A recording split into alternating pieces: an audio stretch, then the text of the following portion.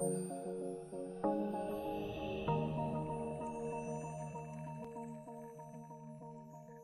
I'm going to demonstrate the unboxing process of the DL9118 installation tester from Di-Log. Remove the cardboard sleeve, to one side. The tester itself is enclosed in a toolbox style carry case, keeping the tester secure and safe, especially in transportation and working environment.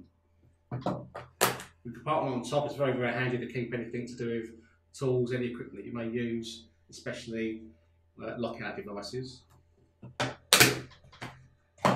catch at the side, releases the lid. the lid itself is IP rated, but it's got an IP rated seal to prevent water ingress and working in, in uh, arduous environments.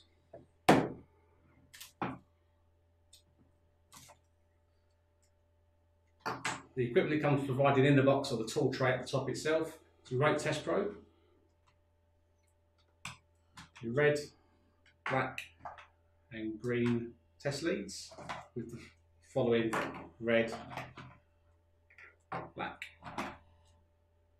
green crocodile clips. Mains lead set with a 13 amp plug on one end. The neck harness, which is padded.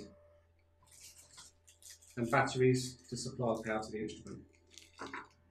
And all that is enclosed in a removable tool tray as well. In the compartment with the test instrument itself, we provide all the relevant documents with the unit.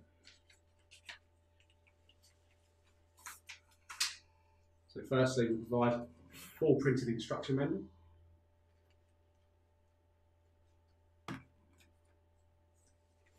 Uh, warranty card, which is complete and fill in online Di-Log directly. It comes with a two-year warranty. If you extend, if you register the product with Di-Log, that will be extended to three years.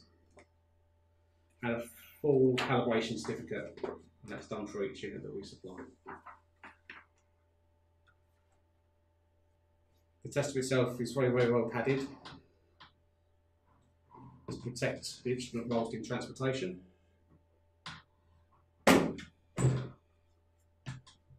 there you have DL918 installation tester from Di-Log Test Equipment.